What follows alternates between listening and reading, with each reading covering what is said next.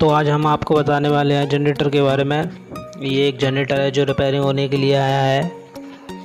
तो इसको खोलने का प्रोसेस और इसके स्लिप रिंग होल्डर के बारे में बताएँगे। ये जनरेटर की बॉडी है एक।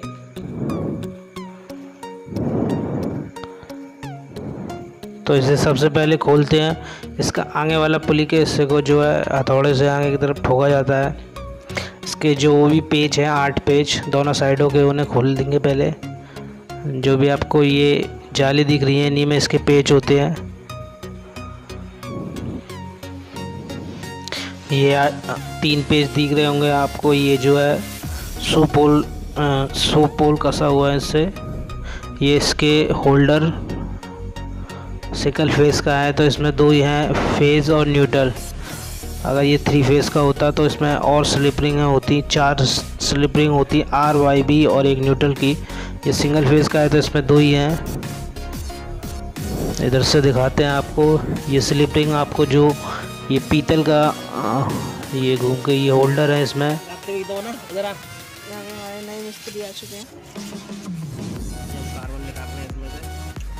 ये इसकी बाइंडिंग दिख रही है, ये स्लिपरिंग और होल्डर विथ कार्बन ये आपको दिख रहे होंगे, ये स्लिप रिंग है और ये इसके होल्डर हैं। और ये कार्बन ब्रोस हैं इसके, जो हमने निकाल लिए हैं। कार्बन ग्रेफाइट के। ये रोटेशन के लिए लगाया जाता है जिससे ये घूमे। तो जो भी इसके रोटर का करंट है आर्मेचर का करंट है, उसको ले लिया जाए। ये तीसरा भी निकाल दिया। और एक और रह गया होगा। इसमें चार चार कार्बन के ब्रुश लगे हुए हैं। ये रजिस्टर है ये इधर आपको दिख रहा है जो।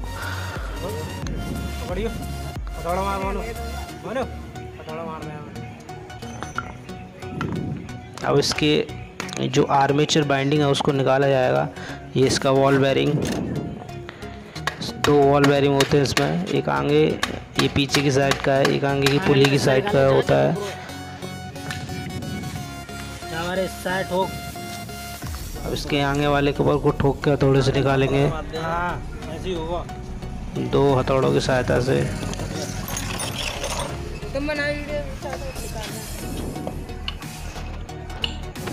ये इसकी पुली है जिसको जो है इंजन में कसा जाता है जिससे भी ये इसका रोटेशन किया जाता है जो भी चीज़ है।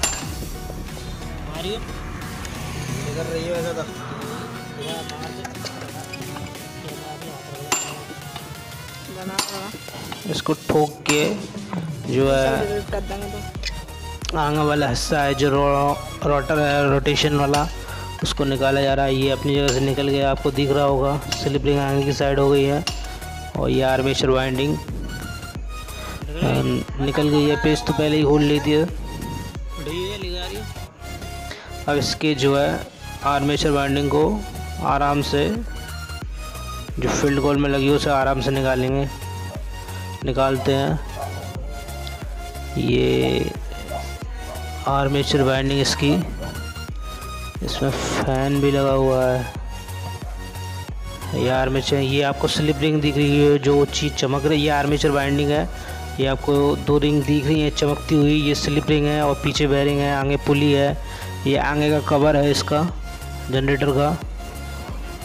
अब आपको बाइंडिंग दिखाएँगे।